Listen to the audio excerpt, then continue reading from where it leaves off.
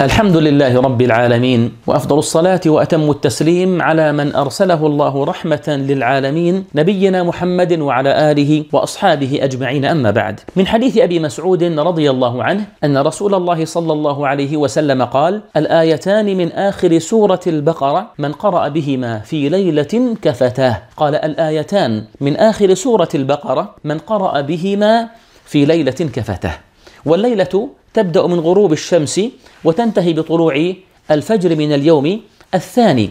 قال صلى الله عليه وسلم كفتاه والنبي صلى الله عليه وسلم قد أطلق الكفاية في هذا الحديث وما قيدها. وإن كان بعض أهل العلم يقول المقصود بالكفاية هنا الكفاية من شر الشياطين. وقيل الكفاية من قيام تلك الليلة. وقيل الكفاية من كل سوء وشر. والنبي صلوات ربي وسلامه عليه قد أوتي جوامع الكلم.